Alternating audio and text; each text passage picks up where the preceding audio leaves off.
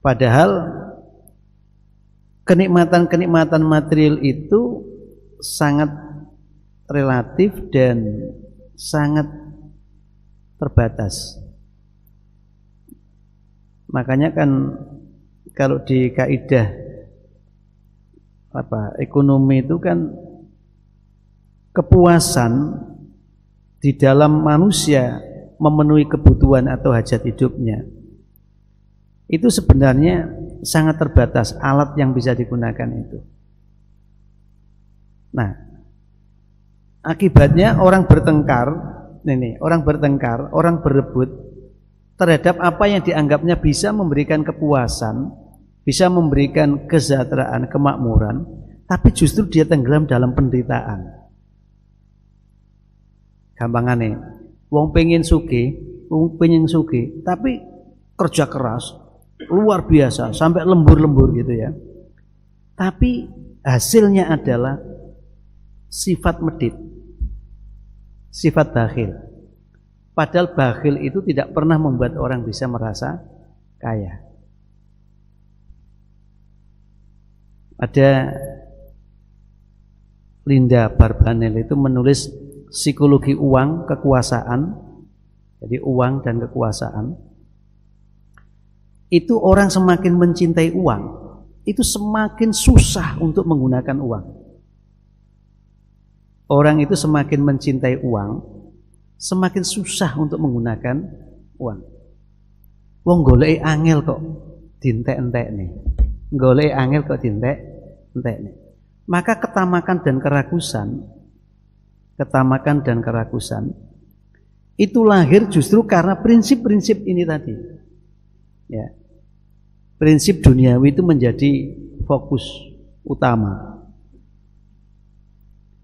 Maka ketika melihat orang-orang yang beriman yang mana hidupnya itu mengalir bagaikan Bengawan Solo atau Sungai Bedadung, air mengalirnya itu. Ya berliku-liku, berkelok-kelok gitu ya. Air mengalir itu. Dan membawa apa pun yang ada di dalamnya tapi dia tetap dalam keadaan sejuk, dalam keadaan tenang. Ya.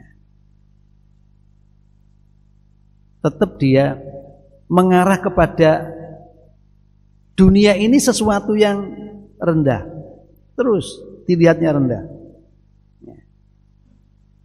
Ya. Makanya ada doa, ya Allah jadikan dunia ini di pandangan mataku sebagai sesuatu yang rendah. Ya. Supaya tidak menjadi orang yang kafir ini yang kemudian melihat dunia ini akbar. Dunia ini adalah sesuatu yang besar.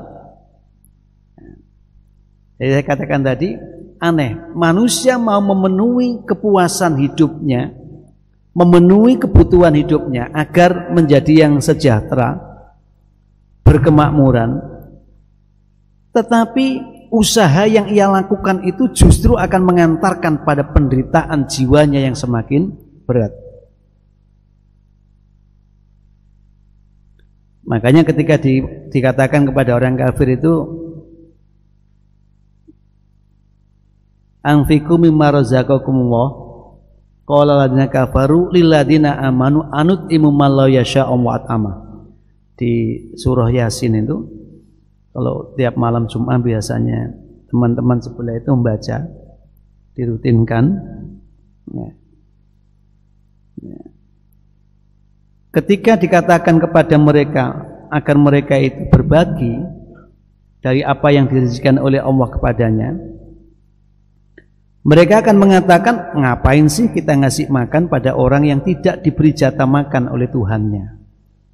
Jadi orang melarat itu dianggap sebagai orang yang tidak pantas untuk mendapatkan kenikmatan uluran tangan darinya. Bahkan kemelaratan dijadikan sebagai media untuk bisa mendapat yang lebih. Makanya posisi orang melarat, komunitas melarat, bangsa melarat, negara yang melarat di hadapan mereka yang kaya itu tidak punya daya saing itu. Maka untuk bangkit menjadi orang yang berdaya itu sulit kalau tetap menggunakan prinsip seperti itu. Ya. Karena kemelaratan itu adalah peluang bagi mereka. Ya, peluang bagi mereka yang punya modal tadi itu. Ya.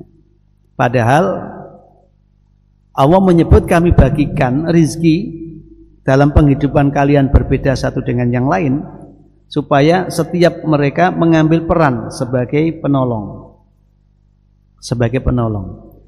Yang kaya ditolong yang miskin yang miskin ditolong oleh yang kaya. Tapi dalam sistem kehidupan kafirin tadi ini pola pandang orang kafir ini justru kemelaratan itu ada peluang baginya